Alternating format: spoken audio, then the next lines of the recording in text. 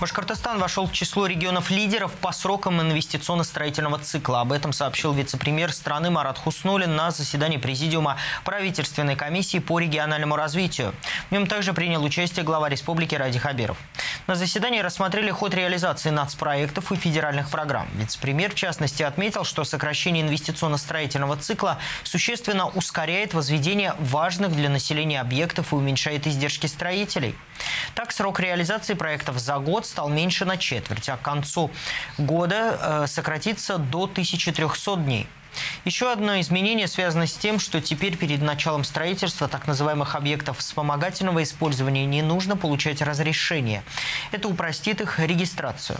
Марат Хуснулин подчеркнул, что необходимо усилить работу для жилищного строительства. Для этого в регионах необходимо наращивать градостроительный потенциал.